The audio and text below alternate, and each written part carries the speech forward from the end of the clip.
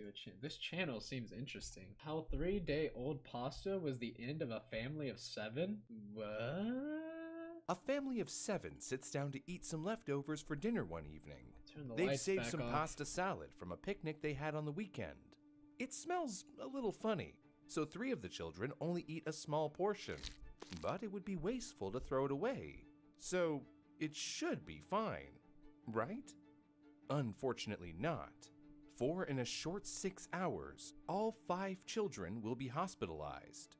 After what everyone Oh. thought was just a simple dinner, finishing off some leftovers to make sure nothing was wasted quickly devolved into bouts of vomiting, oh. labored breathing, Oh. And this is a why I don't eat for their leftovers, man. children's very lives. I eat nothing but fresh frozen.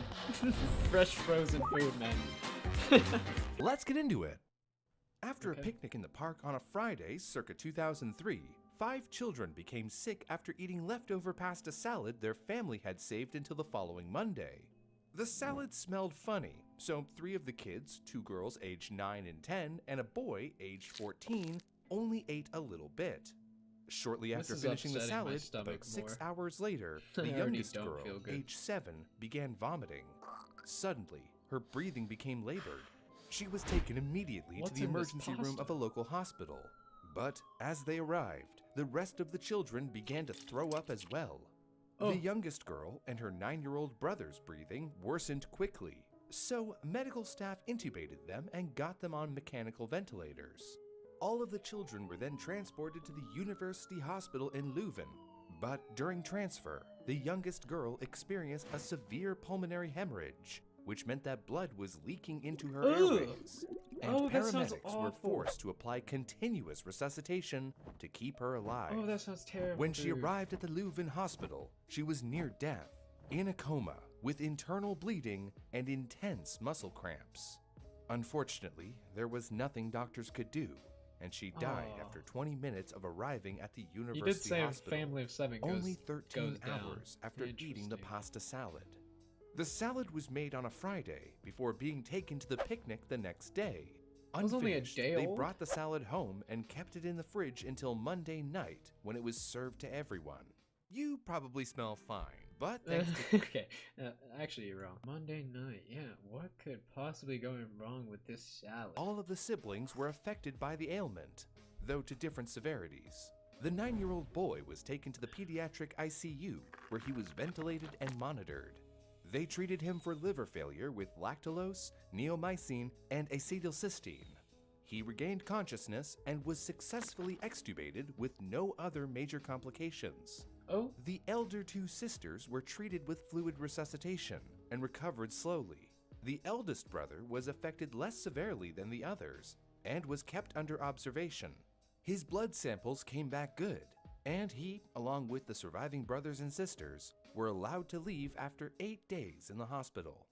In another case involving leftovers, a 17 year old boy and his boys. father came down with a bout of vomiting 30 minutes after eating spaghetti served with homemade pesto.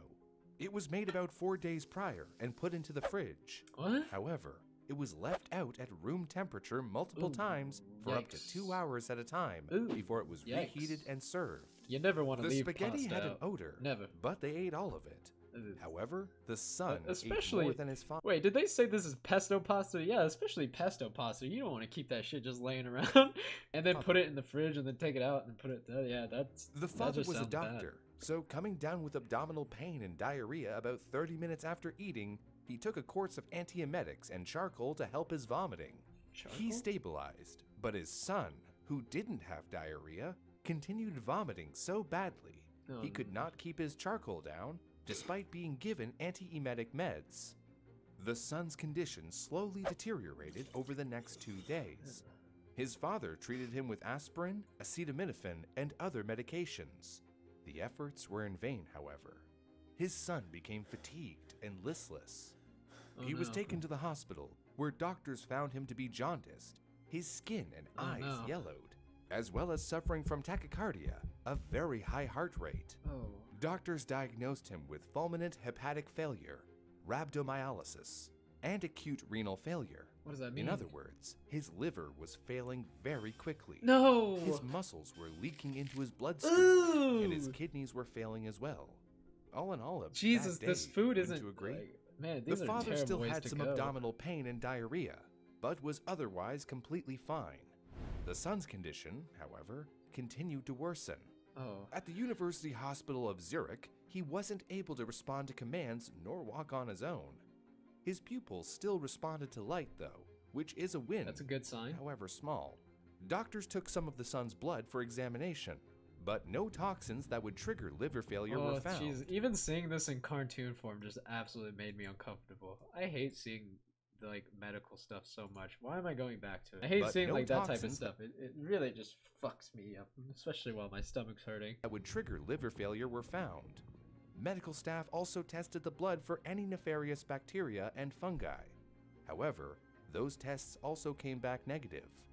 Doctors also Why is there just like this little bacteria guy just floating around in a fish tank? like, what is going liver on? failure was not connected to hepatitis, Epstein-Barr virus, or herpes.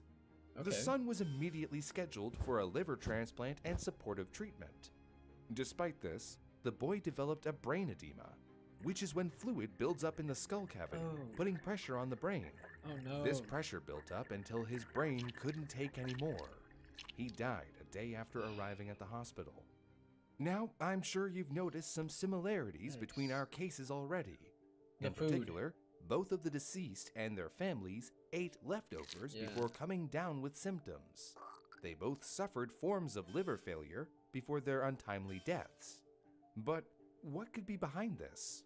The liver, in short, is the organ that controls the levels of particular chemicals in our bloodstream and removes any toxins or waste products. All the blood leaving your stomach and intestines after gobbling up all the nutrients from your food is filtered through the liver before going out to the rest of your body. It also converts various chemicals into forms that the rest of your body can use. So, without it, your body is unable to get many of the nutrients it needs from your digestive system. Nutrients that your body needs to, you know, live.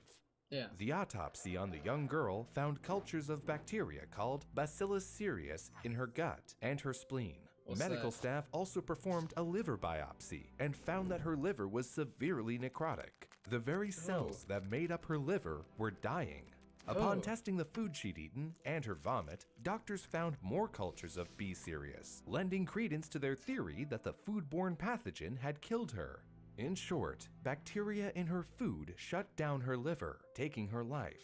Oh. In the oh. autopsy on the 17 year old, after a liver biopsy, doctors found high concentrations Same of, thing? you guessed it, B. Jeez. Cereus. Medical staff also found necrosis on his liver as well, which suggested an impairment of liver mitochondria the powerhouse of the cell. due to B. Mm, yes. cereus. Not only that, after testing his bile in the pan that reheated the spaghetti, staff found more B. cereus cultures. He succumbed to the same fate as the young girl. Bacteria in his food killed the cells in his liver, ending his life. But what is B. cereus, and True. how did it That's take the lives of two children? that. According to the British Columbia Center for Disease Control, B. cereus is a foodborne pathogen that can create two different toxins, which can trigger two kinds of illness. The first is an emetic toxin, which causes vomiting, and the second is a diarrheal toxin, which triggers, well, diarrhea. The emetic toxin causes vomiting almost immediately after ingestion, whereas the diarrheal only begins to wreak havoc once toxins are produced in the intestine. Symptoms of emetic syndrome include vomiting, nausea, and occasionally diarrhea as well. They usually appear between half an hour to five hours after eating contaminated food. What a good The diarrheal syndrome triggers nausea and abdominal pain along with the diarrhea.